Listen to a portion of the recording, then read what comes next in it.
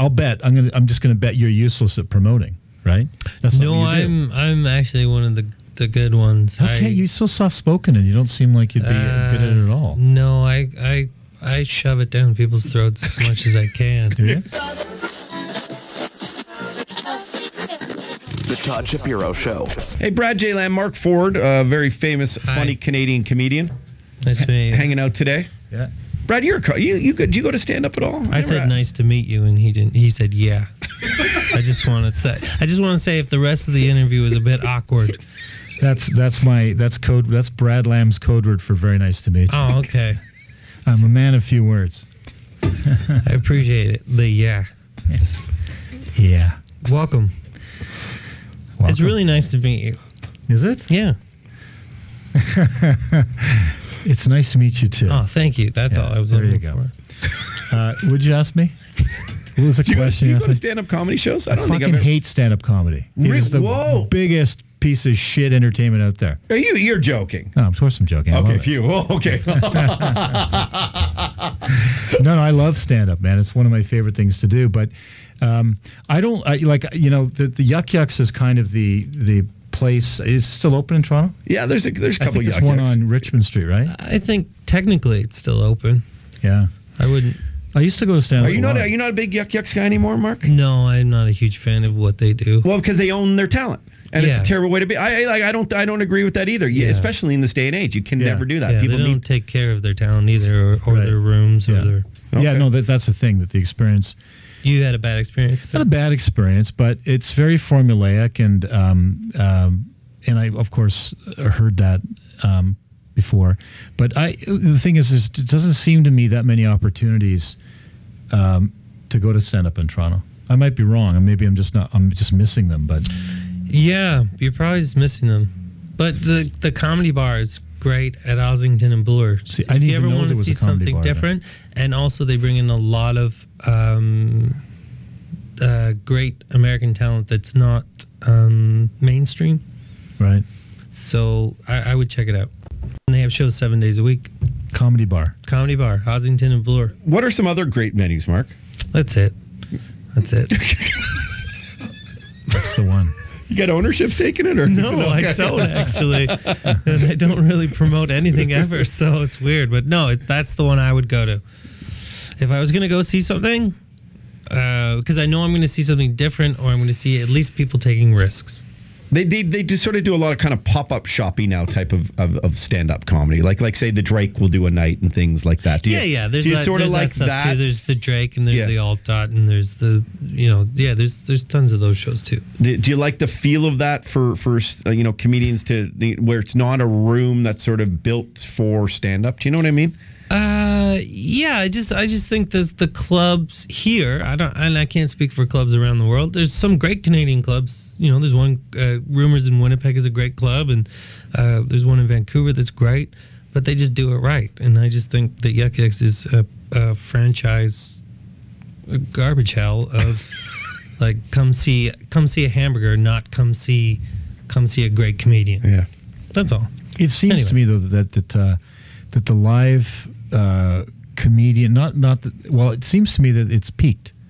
Not that it should have peaked, but uh, you know, in the '80s um, and the '90s, there was a lot more. It seemed there was a lot more. Like there was the Laugh Resort. I remember uh, going to a bunch. There was Yuk Yuk's. There was places in New York I went to, mm-hmm. and, and, it just seems like um, maybe comedy's not doing a great job of promoting itself live. Um it's possible. I think I don't want this all to be about me. Let's talk about you in a second. But you, don't, you, don't, really want to talk about me. but uh, I think a one you've probably grown up, uh, and maybe don't negatory. maybe don't maybe don't no. go out as much. But I agree with you too. In Canada, especially, it's it's it's not promoted well. But What's interesting because even if you go to LA though, right? Like it's sort of the three main places. There's like you know the Laugh Factory, mm-hmm. there's the Comedy Store, and the Laugh uh, or the um, the other one, the, the the Improv, and and you know it's like for as many. Yeah, but again with LA, like if you go to UCB or you go to uh, um, I can't remember the other name of the place, you'll see way better comedy. But I know. So why don't they? It's it, there. Is there's a promotional problem. I think that like because that's what Brad. You know, you're great at promoting your new product. We can relate everything to, to good businessmen. I, and I firmly, I'm not just saying that because you're here. How do we make stand up back? Uh, you know, known to where it should because it's the best. I mean, when I like Mark Forward, when you have these guys come in here. I've been crying for an hour, like just crying. I want Yeah. m- more people to know that that exists everywhere. Yeah, no. I listen. Last night I watched uh, a roast of Rob Lowe, and it was it was so filthy and so mean, but it was very funny. And uh, I mean, I think people love comedy. But see, I, I'll bet I'm gonna. I'm just gonna bet you're useless at promoting, right? That's no, something you do. I'm I'm actually one of the the good ones. How can't I- you so soft spoken and you don't seem like you'd be Uh, good at it at all? No, I I I shove it down people's throats as much as I can. You? Especially in Canada, you have to because So what do you do to promote yourself? I go all the regular routes. I get I hire people to poster. I hire um, PR people. I hire. I do press. I do morning shows. I do Radio. radio. Yeah, but I think that's that, maybe that's the problem. It shouldn't be an individually. So what you guys should do is you should form a collective of Okay. comedians. All right. Have you done that yet? No. Okay, you're going to pay me for this. A great idea. Okay, I'm I'm You listening. form a collective of comedians. You all contribute, almost like a union, but it's not about wages. It's about promotion. Right. And you do wide scale promotion of comedy because the problem is, is that the band promoters are enormous. They're worldwide, right? And they can take any shit band and put them on a stage with with people that you know, large. Uh, selling bands and help those bands get known, and they can put them in front of thousands of people. But that can't happen with comedians. I mean, there's a thing in Montreal uh, and there's a few other festivals. But that's what you guys should be doing. You guys should be banding together, forming a collective, a North America, a worldwide collective of comedians, and start promoting comedy. And, and also doing what like rap star you know rap stars share they do the featuring thing where you have like some amazing singer and some shit rapper and the, the rapper gets all the credit featuring the amazing singer which I've never understood that but they they promote with each other by singing on each other's albums and singles you, you want to pay me to help you guys? I'll take care of it. I'll set that up. Not that expensive. But then you're talking about the worst people in the world working together. Oh. no, no, no, no. You hire someone like me to put it together. You pay Right. me a fee. Part of the money you're putting in every month is to pay me, or not me, but someone like me, and they would promote all of you as a collective. They're not getting you jobs. They're promoting comedy as a viable source of Ah. entertainment, and they're putting it up in front of people. So people say, you know, honey, why don't we go see some comedy tonight? Instead, Right. why don't we get fucked up on you know uh, uh, MDMA tonight and spin around like tops? Right. Something else, right?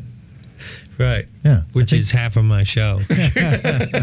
so those that couple would have a good time at my show. Well, you have to get them there first. they got to find out about how to find you. Well, I mean, you've done. I mean, what you've been on Ferguson, right? yeah, I've been on The- Ferguson the- a the couple Late Late Show. times and Uh, John what- Oliver and yeah, I mean, so, you know, I've done okay with my career. it's it's what, but but it but it has I'm it well been known around the world except Canada where I'm from. That's fucked. Yeah. So okay, you know that's part of the problem. We talked about this last time you were. We were very angry by it, Brad. Maybe you can help us here. Canada doesn't want to help Canadians really until they find out you make it somewhere else, and then they kind of be like, "Oh, they're Yeah, our how own." do you work around that one? Yeah. How do you make a uh, Canadian go, I want this product that hasn't been anywhere else but here? Because he's a Canadian and he's a wicked. Because we were all so proud of the hip, and everybody was saying we're so good at promoting our own. Yeah. Uh, over that concert, we were all jerking over each other. But I, but I think I think most small countries that don't see themselves significantly in the world stage suffer from the same thing. I don't think so. Because I Uh, was just in Australia. uh, they have they support count- you- their you, can't. You cannot. They're, they're fucking mental over there. You can't count that country. It's a special country. What about what about Sweden or Finland? How many funny people come out of Finland? I don't know, but the comedy boom for bringing uh, English speaking comedians over there is huge. Yeah, but they're not promoting the Finnish comedians no, because no. they're not funny people. No. Probably. I, I don't think that's necessarily true. I think Canadians do support Canadians. I think we do. I, I, in the That's a- you can't it's, just say that though. Well, I, I'm not just saying it because I think I think it's true. I mean, I, I think you have to realize we're we're a we're a small country separated by massive, uh, you know, um, distances, and uh, and so it, it, it's- it's harder for like a band from New York City can tour a hundred mile radius and make a living. Yeah. You can't do that in Canada. It's just harder to get to people. I hmm. mean, Canadians people have to find out about you. They have to know. They, they can't mind read. They need this. is Why you need to hire this this person. They need to find out about who you are, hear you, find you funny. If they if they've ever heard of you, Yeah, but I'm saying even if you go to them and they find out about you and they like what you did, they leave the show going, well, he'll be all right. It's a Canadian. But if you go to the States and you do well and you do a show, they look you up. They f- seek you out and they want to buy your stuff. Canadians don't do that. well, that's not been my experience. But I'm not an entertainer. How is the uh, development in real estate game? it's terrible. Is it? I'm going to become a comedian. Would you ever try that? I'm going to grow a beard. Does that help? Does that make you funnier? Yeah. Yeah, I'm going to grow a beard. You kind of got some scruff going, actually. I haven't shaved for uh, three or four days.